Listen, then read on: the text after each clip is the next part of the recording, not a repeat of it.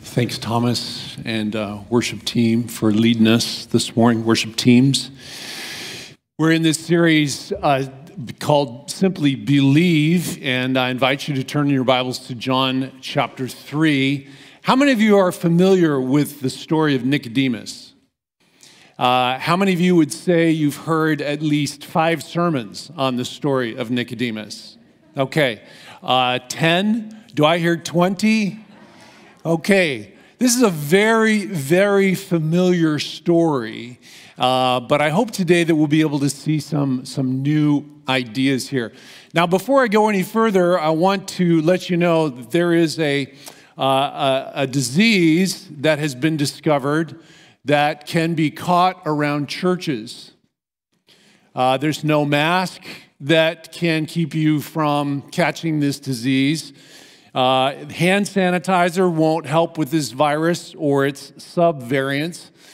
This disease is worse around uh, Bible colleges and seminaries. I guarantee it. I've been there and seen it. I call it halitosis religiosus. It's not just the bad breath that you get from drinking the church coffee. No, it's much more insidious than that. Its symptoms are pride, knowing all the answers, having an amazing ability to give grace to yourself but judge others harshly. It gets a lot of the theology right, but it gets the heart wrong. It gets the relationship wrong. In its advanced stages, it can cause its victims to walk, talk, attend church, read the Bible, in fact, look good, smell good, act good, but in fact be dead inside. My sermon this morning is called Walking Dead or Born Again. Some of you may be familiar with the TV show called The Walking Dead. It's been going on now for 10 years. I don't know how those people are still alive. It's a small group of people that are, that are trying to keep from being infected by zombies and uh, are fighting to stay alive or born again.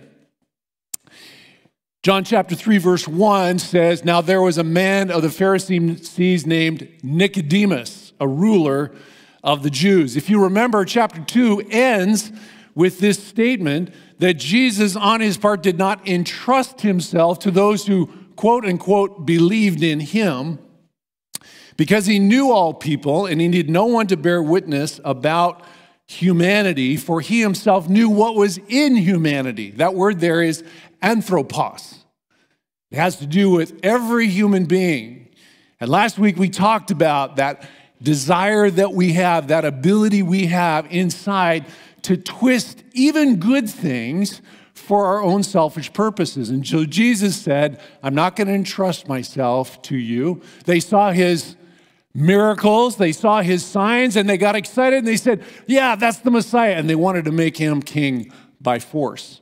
And so he said, Now's not the time for that. So, chapter 3, verse 1 starts with there was an anthropos, there was a human being. No doubt Nicodemus had been in the temple. No doubt Jesus, uh, Nicodemus, had been in Jerusalem and had seen and heard what's going on. In fact, he might have even have gotten a chuckle out of what happened in the temple that day, being a Pharisee. He's established. He's comfortable, he's secure, he's intelligent, he's well educated, he's respected, he's successful. In fact, by every metric you can possibly imagine, he is at the top of the heap, the top of his game. He's got the world by his by the tail.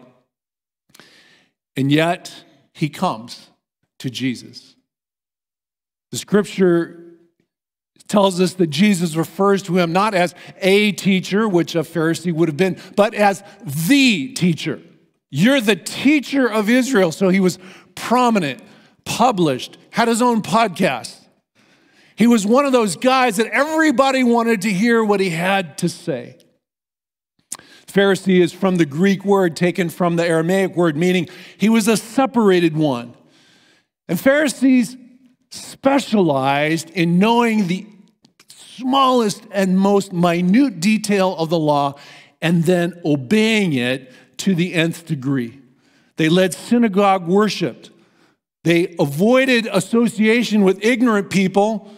They were scrupulous with regard to paying tithes and taking of vows. The Roman historian Josephus wrote The Pharisees lived thriftily, giving in to no luxury.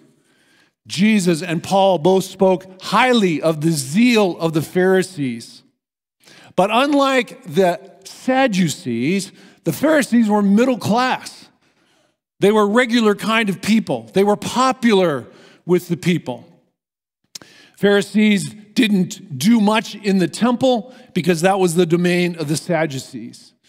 Sadducees were concerned mainly with the, with the temple and that kind of thing, and they were separated from the two. These were low level officials, these were teachers, judges, bureaucrats. And it says that he was a ruler of the Jews. So that means he was also part of the Sanhedrin. That's that 70 member ruling body of the Jewish people. Most of those were Sadducees, but of the five Pharisees that sat on that seat, three of them are listed in Scripture. There was Nicodemus, there's Joseph of Arimathea, and there's Gamaliel. Now we go into this study, we see Nicodemus literally and physically and spiritually in the dark at night coming to him, and we're left with questions. What is Nicodemus's heart? Where is he with the Lord? Where is he spiritually? All we know at the beginning of this is we think he's curious. He's curious. He's interested. He's risking a lot. He wants to know and he's willing to come at night for fear of the Jews. He's a blend of curiosity and timidity. Look then at verse 2. This man came to Jesus by night and said to him, Rabbi, we know that you are a teacher come from God, for no one can do these things that you do unless God is with him. My first point this morning, if you're following along the outline, is Born being born again is a new life, not just an old religion. Why did Nicodemus come at night? One uh, commentator called this, just so we can remember, it's Nick at night. Why did he come at night? Well, maybe he was busy all during the day, or maybe he was afraid. John 1242 says that many of the authorities, many of the ruling Jews believed in him, but for fear of the Pharisees, they did not confess it so they would not be put out of the synagogue. Listen, a guy of Nicodemus's stature, of his standing, of his wealth, of his power, of his influence, had so much to lose by, seeing, by being seen with this upstart Jesus. To be sure, Nicodemus and Jesus talked for more than the two minutes of dialogue that the scripture has recorded for us here. I know because I read it out loud. It takes two minutes. You can rest assured they talk more. But John is capturing the essence of what was happening here. And notice that he calls him rabbi or teacher. It's an honored position. But he's not the Messiah. He's not Lord. He's not Son of God. He's not Son of David. He's not Son of Man. And he acknowledges, well, you came from God. Maybe you're a prophet. Maybe you've got some insight that you'd like to share with us. And he says, You've done these signs. I mean, he's kind of heaping on some, some praise. He's kind of buttering him up, isn't he? Nicodemus gives him a lot of respect, even though he doesn't have the credentials that a teacher under Hillel or under Gamaliel or one of the other great teachers of the law would have. But notice that Jesus totally ignores that. Jesus isn't interested whether Nicodemus was impressed with those signs. Spectacular things will always get attention. It's easy to get. And our own selfish ways can say, More bread. Give me more. Where can I get some more of that? Where can I get some more water? Where can I get, get, get, get, get? Jesus isn't interested in catering to that. And so he says in verse 3 truly, truly.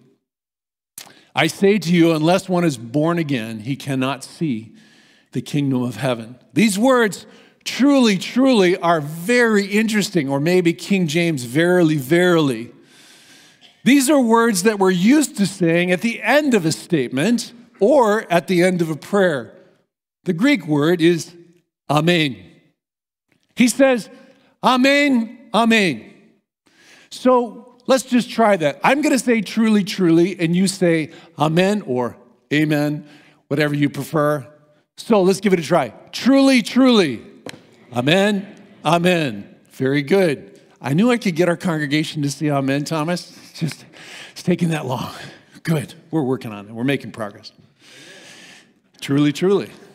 So Jesus says you must be born again. That phrase comes up three times here, and this word born is a favorite of John's. He uses it more than all the other gospel writers put together.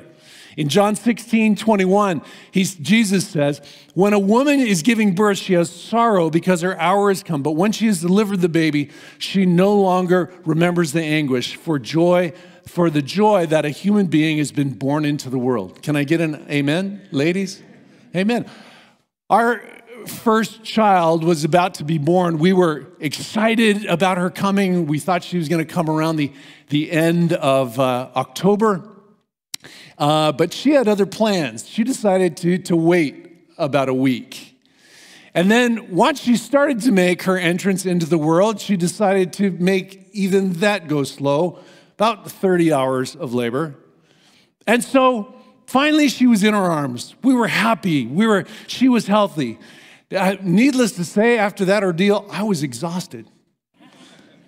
Yeah. Okay, I'm just kidding.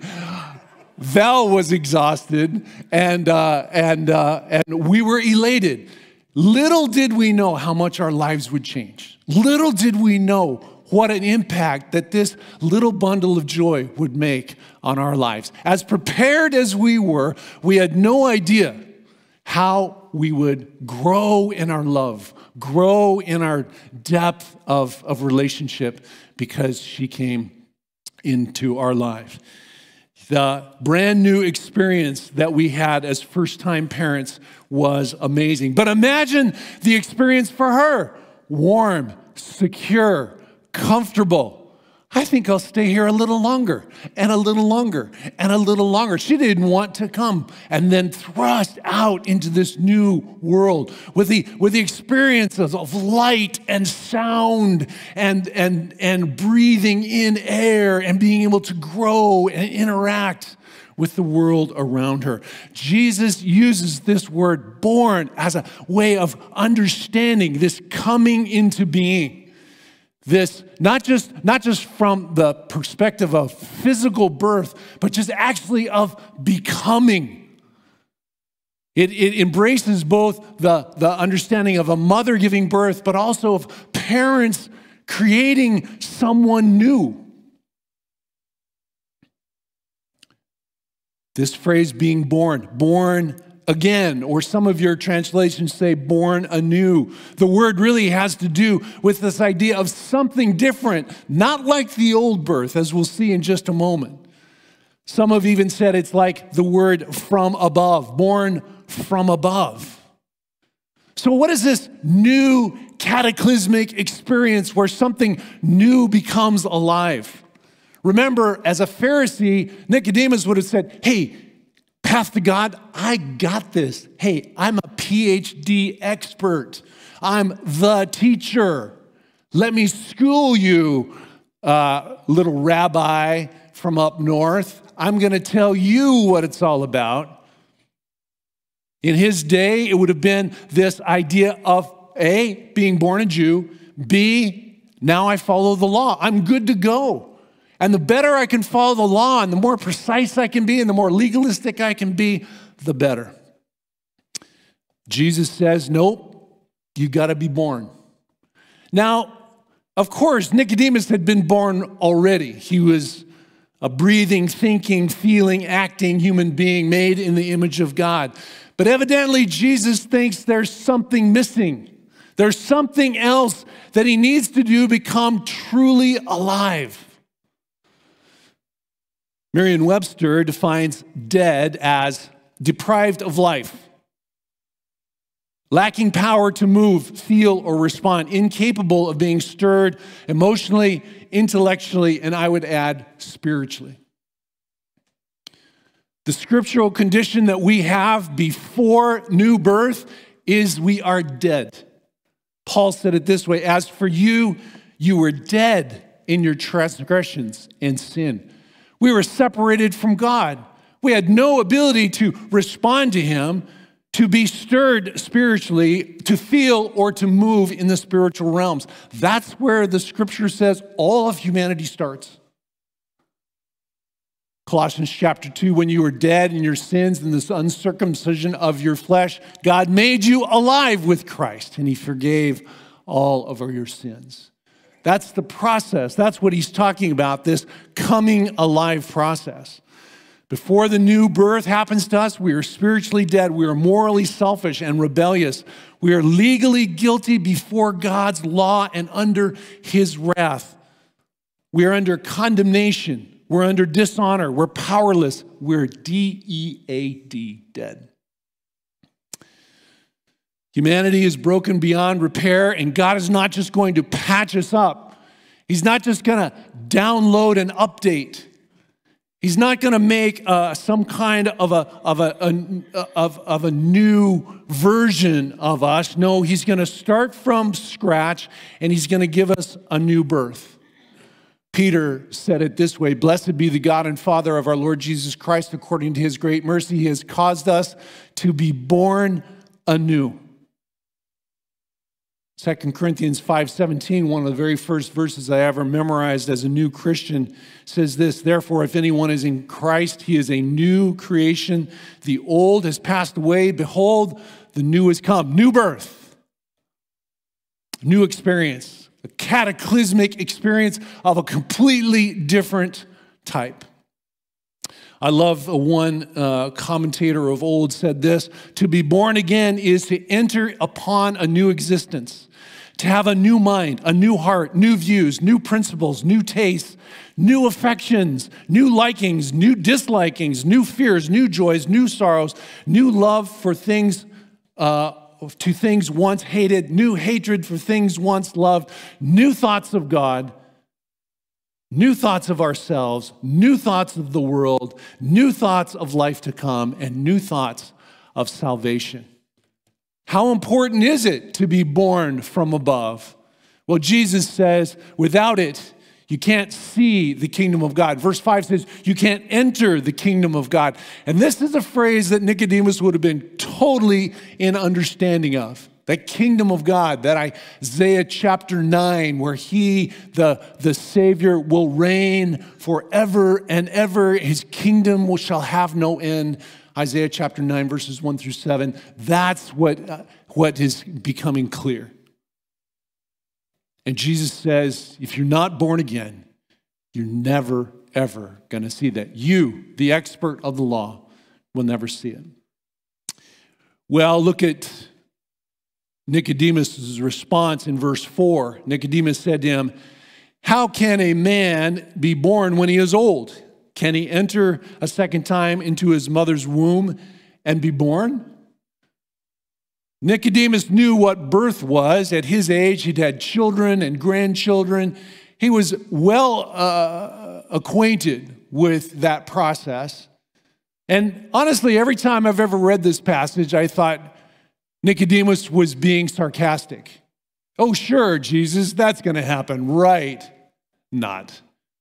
That, that, that's impossible, and we all know it. Jesus, that's silly. Why would you even say that? But I'd like you to consider that it might have been a more thoughtful comment of regret and longing. Because just like you and just like me, Nicodemus was a mixture of doubts and uncertainties and hopes and fears, of good habits and bad habits built up over the years. What if he was thinking, wouldn't it be wonderful to start over? Wouldn't it be amazing to have all the regret and all the weight and all those, those habits and things that have crept into my life that I just can't seem to shake, to be free from all that. Wouldn't it be wonderful not to have to carry the burden of this law around with me all the time? You know, the law for the Pharisees, there were the Ten Commandments, of course, but then Jewish scholars have gone through and found 613 direct commands from the scriptures. So, so Nicodemus was thinking about them. And then, around the year 200, the oral traditions of the Pharisees were put together in 63 volumes called the Mishnah, putting thousands upon thousands of laws on something like, Thou shalt not work, you shall honor the Sabbath and keep it holy. Well, they brought it down to how many steps you could take or how many words you could write. If you've been to modern day Israel, you know on the Sabbath, uh, several of you have been there. Elevators don't work on the Sabbath. You know why that is? Because it's considered kindling a fire to press a button. Now, we look at that and maybe we laugh and we say, well, that just seems ridiculous. But this deep desire, this deep burden to please God by my actions, what can I do? How can I make it? How can I be good enough? Is it possible that Nicodemus was longing to be free from that? And here's what Jesus says. And Jesus answered, Truly, truly, truly, truly. Amen. amen, amen. I say to you, unless one is born of water and of the Spirit, he cannot enter the kingdom of God. What is Jesus doing? He's expanding on what it means to be born again. He says, That which is born of the flesh is flesh, and that which is born of the spirit is spirit. There are a variety of interpretations as to what this means. Maybe you, uh, who've heard 20 sermons on this, have, have an idea on it. One commentary I read said this phrase, born of the water and the spirit, is genuinely difficult. So, so given that as it is. For some, the idea of water is physical birth, and spirit is spiritual birth. Connect that to verse 6, and you see the water is the flesh, and the spirit is, again, the Holy Spirit. And that's possible. But water in that culture was not connected with birth. We think of amniotic fluid, and, and, uh, and I, believe me, and I've seen plenty of that in, uh, in my experience. Uh, I've attended the birth of all four of our children, uh, and I have, I've, uh, I've, I've been there and seen that. Uh, any of those you fathers who have been in that room know that mom has doctors, the, the, the babies have doctors, or the baby has doctor, and you get a doctor just in case you go down, right? Well, that wasn't the case in that, in that culture. There, there wasn't that idea. It's possible that Jesus is just correcting what, what Nicodemus is saying. Yeah, it's, it's, uh, you know, it's, it's like physical birth, right? And Jesus says, no. I think a better explanation is that the water means John's baptism of repentance. It was a sign of a new convert to Judaism. It was a sign of repentance from idolatry and from sinful ways. Proselytes in Jesus' day were call, called newly born children. And when we talked about John and his baptism, we said that all of Israel was going out, but the Pharisees refused. Why? because they didn't want to be called newly born children. They were established. They knew the Torah. They knew how to do things. They knew how to work the system. They didn't need to be called a little baby. How insulting. What Jesus is saying here, I believe, is that there must be a baptism of repentance. There must be a turning away from the old ways, the old self, the old sinful desires, and turning toward God. John Calvin said the term born again, he means not an amendment of a part, but the renewal of the whole nature. Therefore, it follows there is nothing in us that is not defective. Again, Jesus is not talking about an upgrade, he's talking about an overhaul from the ground up. And so, by being born again, we become children of God. Jesus has already talked about this in chapter one. But to all, would you read this with me? But to all who did receive him, who believed in his name, He gave the right to become children of God who were born not of blood, nor of the will of the flesh, nor of the will of man, but of God. Your children have a special place in your heart. I remember bringing little Ariana home from the hospital and we put her right at the foot of our bed and, and I don't think we slept a wink that night, right? Did you hear that? Did she move? Did she sneeze? Did she cough? Is she still breathing? Is everything okay? We were just like that, right? And that little kid had us wrapped around her little finger in a heartbeat. I mean, we loved her from the day she was conceived, but there's something about the doctor handing you or nurse handing you this child and saying, now take her home. You go, what? Me? I got to take this child. I got to care for this child. I got to make sure they're, you know, and that that just knits you with them. The, the, the, the experience of being a, a, a, child, of, of having that relationship, that's the one that God says is true of you. You're His. He'll never leave you never forsake you. You are inscribed on his heart, his mind, his soul. He loves you in a way that human love of a child for a parent is modeled after, but doesn't even come close.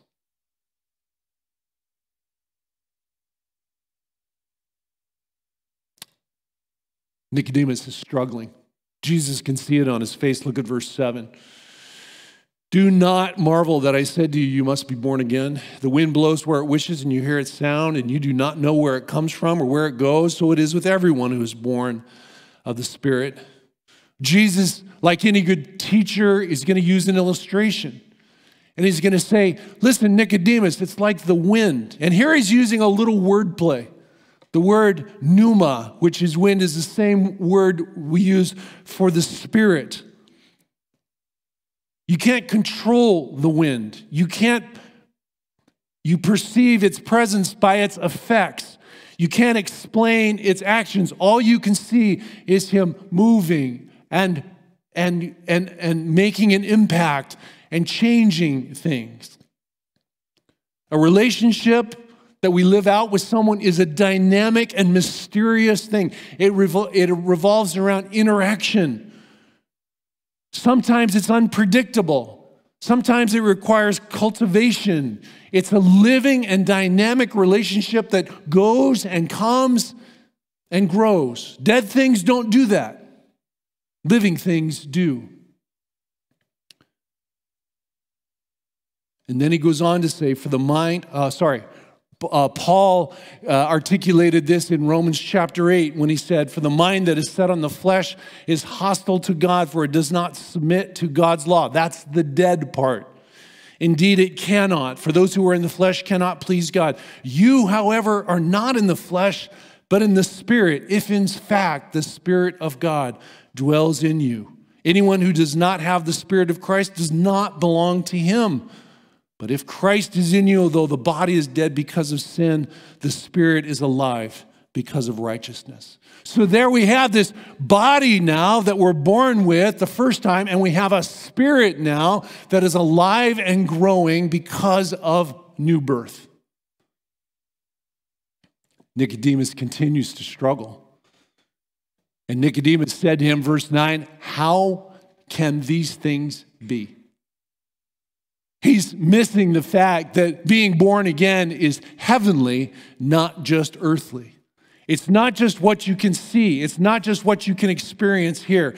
And Jesus criticizes Nicodemus for not knowing this. Are you the teacher of Israel and you don't understand this? That seems pretty harsh. But what was Jesus referring to? Well, the idea of the water and the Spirit is firmly established Old Testament theme. Isaiah chapter 44, verse 3 For I will pour water on a thirsty land and streams on dry grounds. I will pour out my spirit on your offspring and my blessings on your descendants. Nicodemus should have known that what God was planning in the great story was not just a bunch of rules to follow, but an indwelling spirit to change our hearts. Remember Acts chapter 2? Peter on the day of Pentecost says, says, This is happening in front of your very eyes. Joel chapter 2, verse 28, and it will come to pass that I will pour out my spirit on all flesh. Your sons and your daughters shall prophesy. Your old men shall dream dreams, and your young men shall see visions. That's what happens when the Holy Spirit comes and fills and transforms a heart and life. Probably the most amazing verse of all is, sorry, I missed those, is Isaiah 36, where he says, I will sprinkle clean water on you, and you shall be clean from all your uncleanness. From all your idols I will cleanse you. And I will give you a new heart, and a new spirit I will put within you. And I will remove the heart of stone from your flesh and give you a heart of flesh, a heart that's alive to the things of God, a heart that can move, that can respond, that can ask questions. And I will put my spirit within you and cause you to walk in my statutes and be careful to obey my rules. You see the difference now between the concept that, that, that Nicodemus had, oh, I got to be good in order to get God to love me, to I want to please my Heavenly Father who's already cleansed me, who's already made me his child. I was orphaned, I was outside, I was a stranger, I was hostile to God, and He's loved me and brought me in and made me part of my family made me part of his family. Now, what else would I want to do but please him? These are the verses that are talking about the new covenant, the fulfillment of all that God had been working toward. Remember, Jesus said, I did not come to abolish the law, but to fulfill it. Here it is, right among us, right in front of you, Nicodemus. Will you take it? It's a miracle. It's spiritual. It's a new birth. It's turning on the lights. It takes us out of darkness and into the kingdom of light. It changes us from the inside out in a way that we'll never be the same again. Truly, truly. Amen. Amen. That's what I want, don't you? I want to be on that dangerous, exciting road of relationship with God through the Holy Spirit in such a way I'm not always quite sure what he's doing. You see, Nicodemus had figured out how to control God. No, God doesn't do that. God doesn't do that. He only does this. Jesus says to him, Truly, truly, truly, truly, amen, amen. I say to you, we speak of what we know and bear witness to what we have seen and you do not receive our testimony. Some people think that Nicodemus became a believer maybe after the resurrection, but at this point in time, it's very clear he's not made that step. If I have told you earthly things and you do not believe, how can you believe if I tell you heavenly things? No one has ascended into heaven except he who has descended from heaven, the Son of God. Jesus is basically saying, Listen, Nick, I've been there, I've done that. Remember how John 1 begins? He's the Word. He's the creator. He's the start. He's the Alpha. He's the one who put this whole thing into motion. And he says, if you won't believe me, well, who are you going to believe? You're not going to take what I've given to you, then believe what you want to believe. I've told you simple things that you can't handle, let alone what else I could give you? You don't believe my testimony, you don't believe in me. And verse 14 says, And as Moses lifted up the serpent in the wilderness, so the Son of Man must be lifted up, that whoever believes in him may have eternal life. There is no spiritual life, there is no eternal life apart from connection with Jesus and belief in Jesus. Oh, the world would like to have you believe there's many paths to God. Jesus is just one of them. Jesus did not come and say, I am a way, I am a truth, I am a life. No, he said, It's me alone. John the apostle would later say in 1 John 5, This is the testimony that God gave us eternal life, and this life is in his Son. Whoever has the Son has life. Whoever does not have the Son does not have life.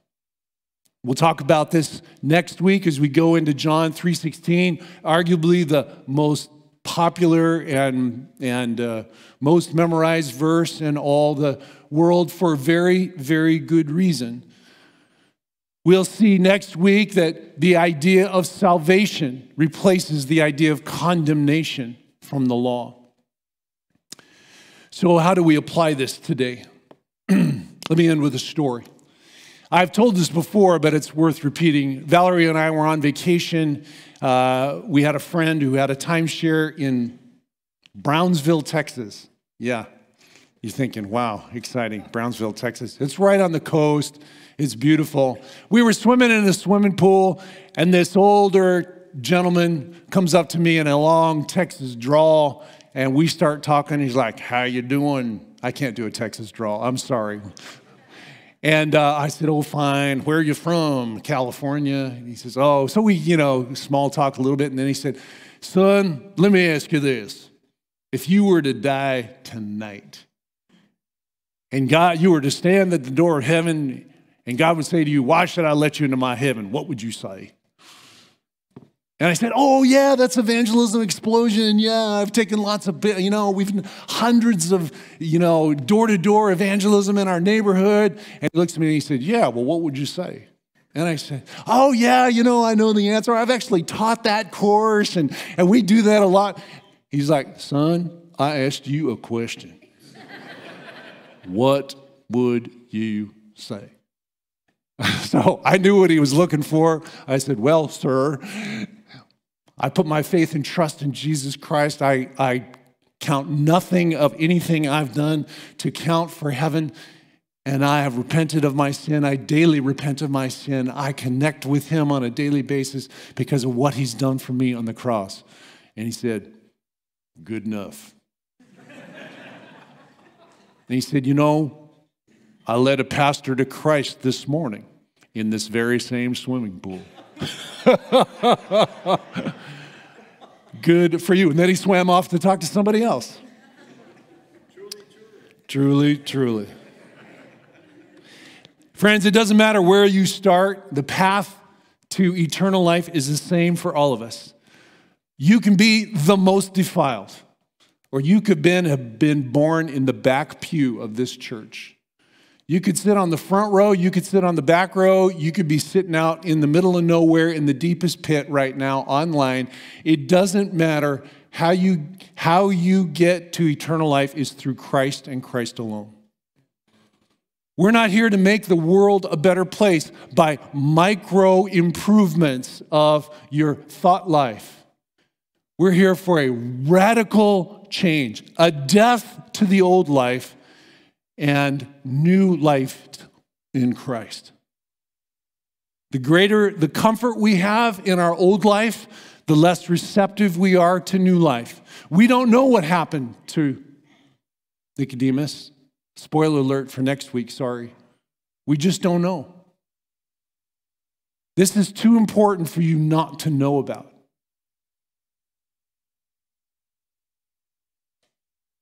You can try to be a better person, far, follow more rules, work harder to get to God, love you, but you have to be born again through the water of repentance, the filling of the Holy Spirit in Christ.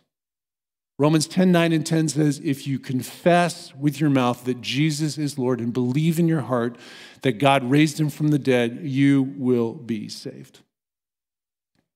Now, for some of you, that's a story you've heard many times, and it's a process you've been through maybe many times, but you know that. Let me ask you this Isn't there a little bit of Nicodemus in all of us? Change was threatening. His religious sophistication, his ambition only made it harder for him to see because he had so much at risk. I remember when I first started hearing about house churches started hearing about disciple making movements. I started hearing about this thing. Well, we don't need church buildings anymore. We're just going to meet, you know, in coffee shops and under trees and out to these places. Honestly, I was like, hmm, interesting. What'll that do to me? I was threatened. Is my way of life over? Now, friends, that doesn't make it wrong, but it doesn't make it right. I had to examine that and say, let's look at this and see what the scriptures say. Let's look at what the Holy Spirit is doing, even if it's a little bit threatening. Am I saying forget all that you've ever learned? Am I saying forget all that you've ever learned about Nicodemus from all those 19 other sermons that you've heard? No. I'm saying let's not let pride or arrogance keep us from continuing to learn. Amen?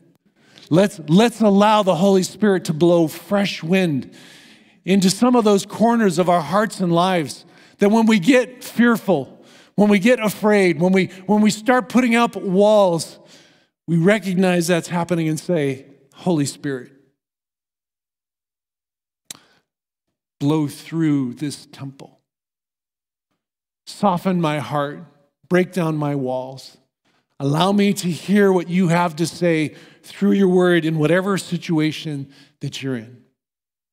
And God will grow you in Jesus' name. Let's pray. Lord Jesus, we do come before you with humility. Yeah, some of us have been around a very long time, Lord, and we're grateful for all that you've taught. Keep us as learners, keep us soft, keep us growing, keep us learning in you. Lord, if there's someone here today that has never taken that step of faith to receive, to believe, to confess, then may this day be the day. A simple prayer Jesus, I can't do it on my own.